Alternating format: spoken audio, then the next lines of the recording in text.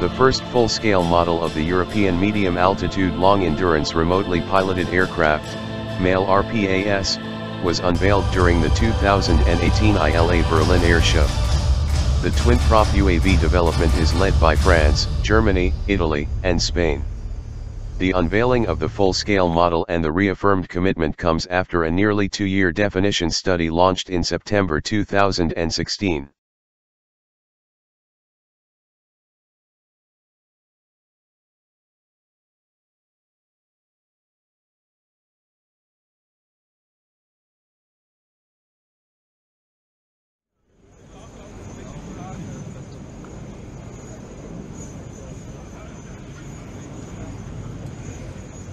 The European MALE RPAS will replace the US-made MQ-9 Reaper operated by France, Italy, Spain, and the IAI Heron UAV operated by Germany.